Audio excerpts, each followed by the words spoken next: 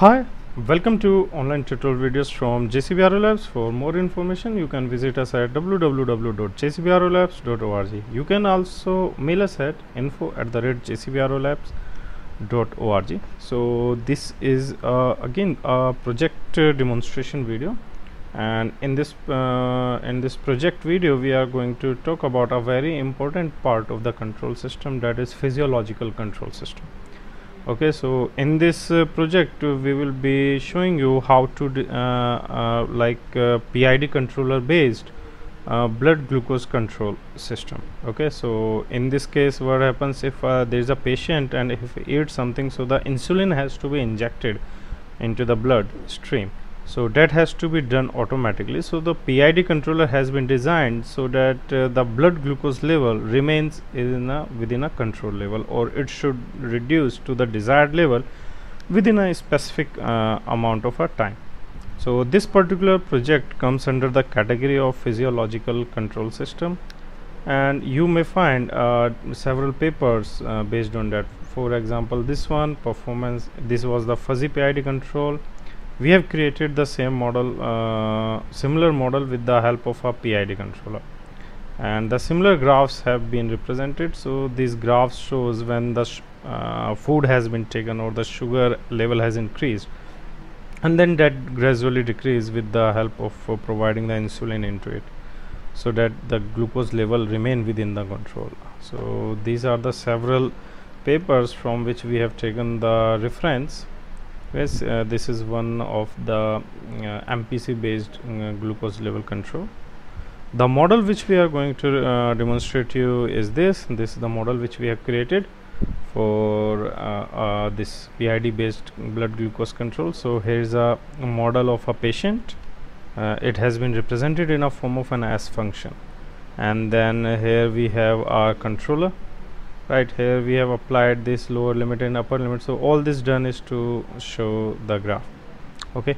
So uh, the optimization of this PID controller is being done with the help of a genetic algorithm right? So we have already optimized the system uh, for once and in order to show you the result. Okay? So we are showing uh, we are running it for uh, 24 seconds. Uh, no it will be in 24 hours and then okay let's simply run it the result and you will observe the final output. Okay so it is running. So you can see this is the green line which is the patient s function which is increasing or decreasing. And it is being increased and then decreased by after insulin has been injected uh, through the PID controller. So PID controller is being active activated. Okay and that okay so now uh, we can also show you there is a graph uh, uh, which you can just run and all the plots uh, will be plotted here. So this is the amount of the insulin injection at which instant. So whenever a patient has taken some uh, food or consumed her some food as soon as the insulin has been started has been started injecting so this is a kind of the response. So this is a sluggish response is there because we optimize the PID controller for uh, 10 iteration only okay? Because it is a heavy heavy program so it takes a lot of time.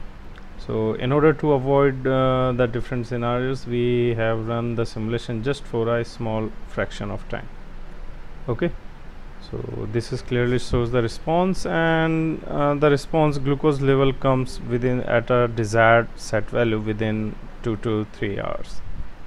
Okay and here is our optimization file which we have created. So you just have to run this file and then the entire optimization will start working.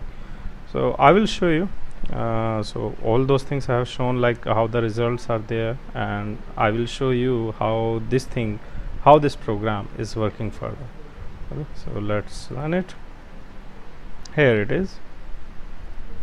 So you see uh, the optimization has started and it is compiling the model and it will keep on running the model for different different values. So uh, yeah you know uh, during the optimization this different value will occur. Yeah uh, if you uh, close this uh, window and close the model the optimization will run more faster. But uh, I keep it open just to demonstrate to you that the optimization code which we will provide if you need uh, is working uh, condition. Okay. And here it is. Yeah. So yeah you can see different different values are obtaining. So obviously these are not desirable. So genetic algorithm is trying to get the final values of the kpk and kd so that it can be sustained in an efficient manner. Okay so let's uh, wait it out and let's see for some values for it. Okay now you look here. So this is the PID controller with different response. So GA is trying to settle down the PID controller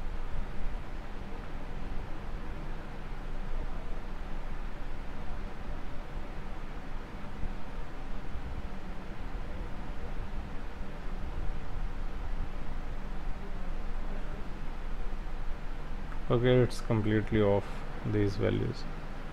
So once uh, uh, as I said we are running the optimization for 10 iteration with 50 population size. You can run it for very whatever values you want.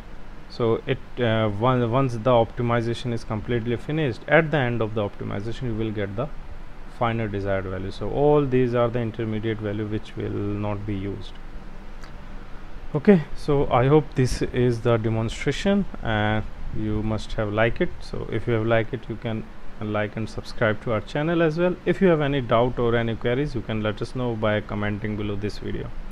And if you need these project files then please send us a mail at uh, info at the rate jcbrolabs.org or if you want similar kind of work to be done then you can contact us through our website uh, which is www.jcbrolabs.org or you can also mail us at info at jcbrolabs.org so uh, finally we also provide online training. We also do industrial and freelance projects based on data science python machine learning embedded system etc so if you have any such requirement then you can let us know by by contacting us through our website which is www.jcbrolabs.org you can also mail us at info at jcbrolabs.org so that's it for this video. Thank you